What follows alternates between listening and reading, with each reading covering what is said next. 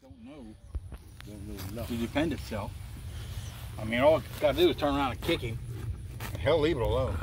Because other horses there have kicked him, and he steers clear of them.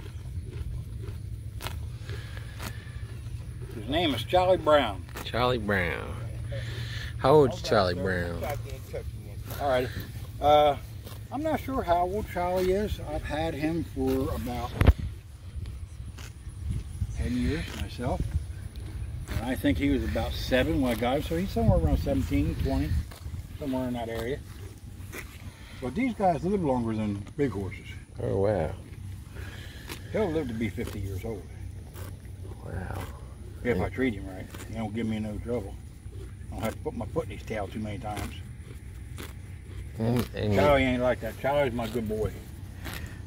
it's nice looking. Kids can ride him. I can hook him up to a buggy Go all day long. that's cool. So that's what you do out here. You give kids the rides. Mhm. Mm-hmm. Two dollars a ride. Oh, that's cool. And here comes my first customers. Yeah, that's so cool. Everybody else on pony rides charge four or five dollars. Right? These Uh. people here don't have that kind of money. Right. That's Especially when they got five kids. yeah. Two dollars, everybody gets to ride. Right. And Yeah. it ain't that much more for him to go six Mhm. or eight, ten, twelve rounds. Right. That's why I got three of them here. Hmm.